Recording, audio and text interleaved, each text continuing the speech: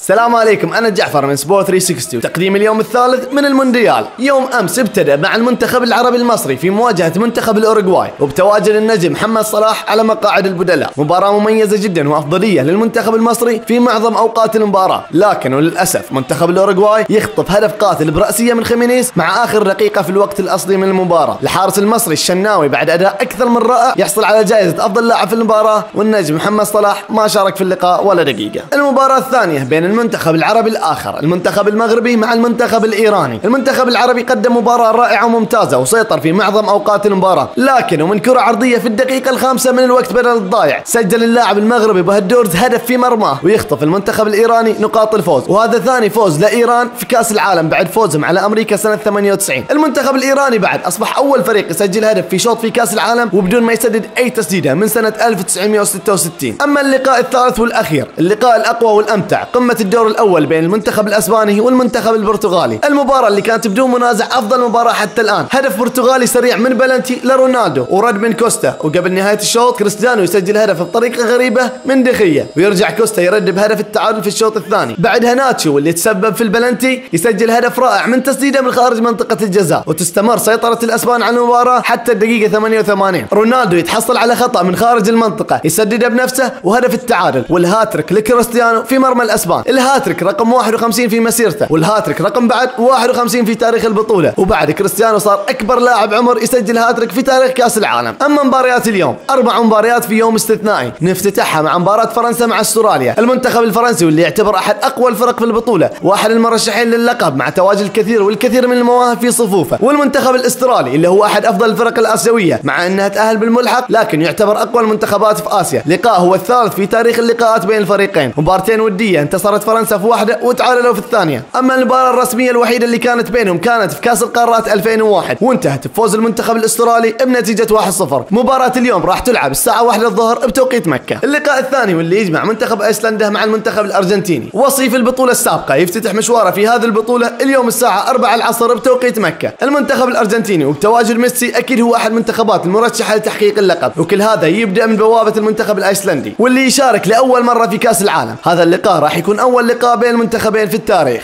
اللقاء الثالث اليوم ويجمع المنتخب الدنماركي مع منتخب البيرو في المجموعة الثالثة. لقاء مهم للطرفين وممكن يعطي دفعة قوية للمنتخب اللي يفوز وتكون أول خطوة للتأهل للدور الثاني. المباراة واللي راح تكون الأولى بين المنتخبين في تاريخ مواجهاتهم راح تلعب الساعة 7 المساء بتوقيت مكة. اللقاء الرابع والأخير اليوم واللي ممكن يكون أقوى لقاءات اليوم المنتخب الكرواتي مع المنتخب النيجيري. لقاء ضمن المجموعة الرابعة المنتخب الكرواتي واللي يملك الكثير من النجوم في مهمة ما راح تكون سهلة ضد المنتخب الأفريقي العنيد واللي يقدم مستويات مميزة والكثير يتوقع أنه يسبب مشاكل لكل فرق البطولة اللي يواجهها. مباراة راح تكون بعد الأولى في تاريخ مواجهة الفريقين. وراح تلعب الساعة 10 المساء بتوقيت مكة. وبس هذا تقديم اليوم. أنتوا إيش رأيكم؟ مباريات أمس ونتائجها. وبعد أعطونا توقعاتكم لمباريات اليوم. سلام.